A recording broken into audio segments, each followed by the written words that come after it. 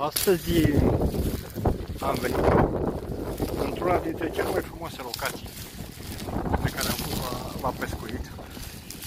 Am, sunt în Steneș, nu știu dacă pot să ajung apă, dar voi încerca. Observați că în spatele meu este pădurea. Vreau să filmez, ca să poate exact până la, la malul apei. Aici este pământ. Din această cauză îmi este foarte greu să să răspund. Indiferent că le spui alta, continuă, spune, dar în ce loc dai? Viu din Buzău, pe unde să o iau?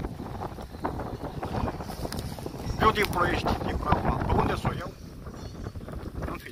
O să mă duc și puțin mai încolo, dar înainte de asta vă spun unde mă aflu acum.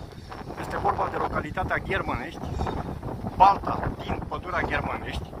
Puteți căuta pe internet. Este o baltă extraordinar de frumoasă. Accesul aici se face foarte greu, dar uitați-vă și două repede. În momentul în care ai ajuns, este o priveliște de vis. În spate este pădurea.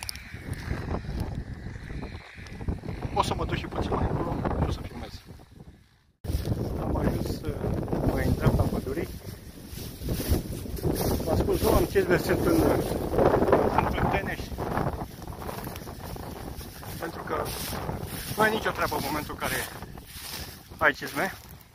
Se poate intra foarte ușor, se poate pescui. Am pescuit pe această baltă. E o adevărată provocare. Nu mai crăci, stuf, dar este și un caras frumos, un caras sălbatic. Am prins și ciortan aici.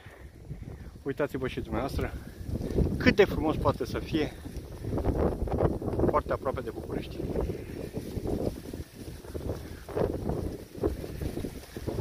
Ei, în momentul în care arăt această baltă, automat, mă repet, voi fi întrebat de N ori. Dom'le, cum să ajunge? În ce modalitate? Cum pot să pot? În momentul în care conduc, nu pot să răspund la toate întrebările, această cauză ești înjurat. Nici măcar să se uite. Uitați-vă, Rățuște, v-am spus, o locație de vis. Iermănești, Balta din Iermănești. Nu se poate ajunge cu, cu mașina, uh, trebuie să mergeți aproximativ, a, aproximativ 800 un kilometru pe, pe jos. Dar odată ajungi, este superb. Am vrut să vă arăt și dumneavoastră această extraordinară baltă.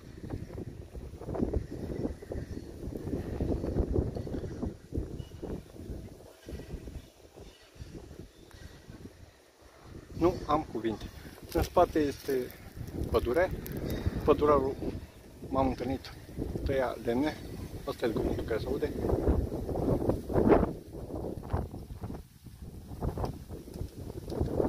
Este o baltă sălbatică.